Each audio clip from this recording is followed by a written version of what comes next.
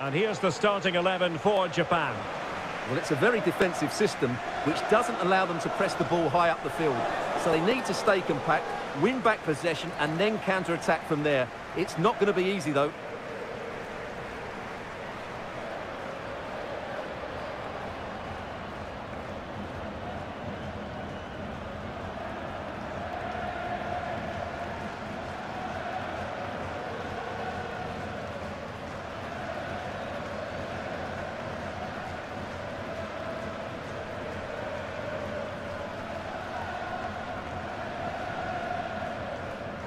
Here's the lineup for Spain.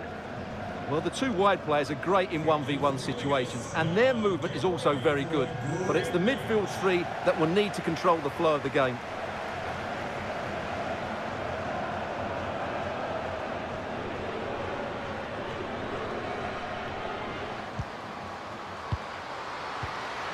Will it be?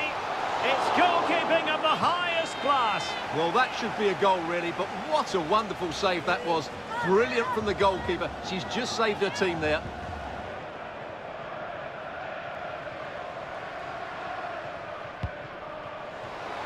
Oh, she's given us away. And there is the opening goal.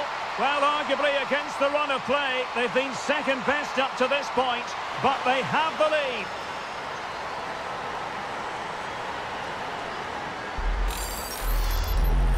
Well, here's the replay. And sometimes when you're being pressed high up the field, you have to go that little bit longer and not play out through the thirds. And that's what they tried to do here. They had their pocket picked, and suddenly they find the ball in the back of the net.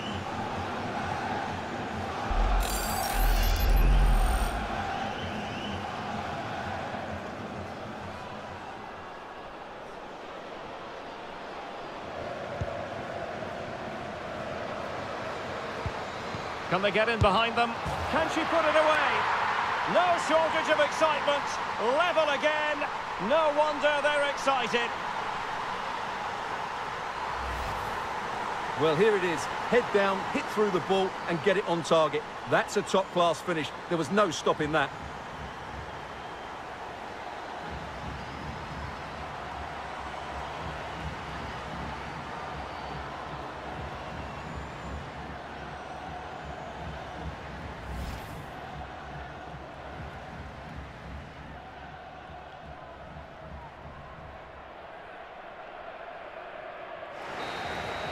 And that is going to do it. The referee blows the whistle for full time.